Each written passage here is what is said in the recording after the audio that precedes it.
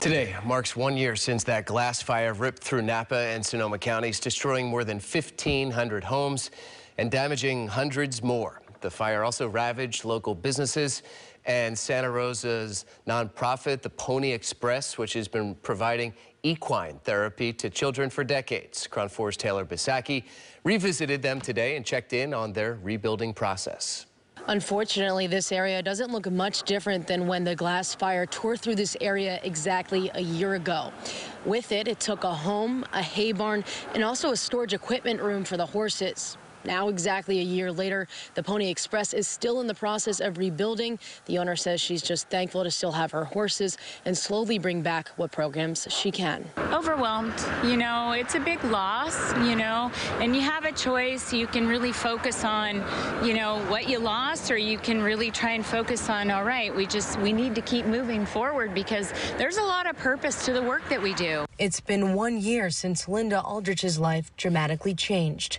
On September September 27, 2020, the glass fire rolled right over her Santa Rosa property, destroying the home she raised her family in, along with the hay barn, tack room, and other storage areas for her horses. Thankfully, all 12 horses made it out alive that day.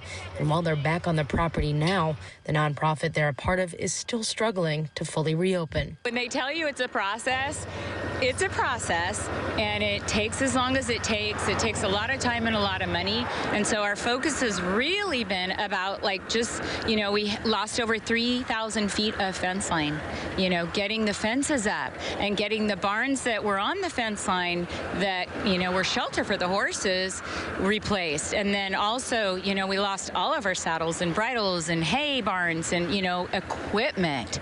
So really just trying to focus on not so much the house, you know, I have a trailer, I have a roof over my head, but really trying to get it to the place where we can get our programs back up and running. With her horses, the barns, and all of the equipment she once had, Aldrich runs a nonprofit called the Pony Express, which provides life skills and equine therapy for children in the community. Flagship program, our Equine Assisted Skills for Youth program that we've had for literally four decades, that program is, is currently closed. And so we're really um, working very, very hard. That is our number one goal is, you know, that was a program that we always provided free. So far, Aldrich has been able to bring back half of the Pony Express programs, but hopes to bring back all four in the near future. Through all the destruction and rubble, she says it's the community that keeps her going. So grateful for our community that rallied around us and continues to rally around us.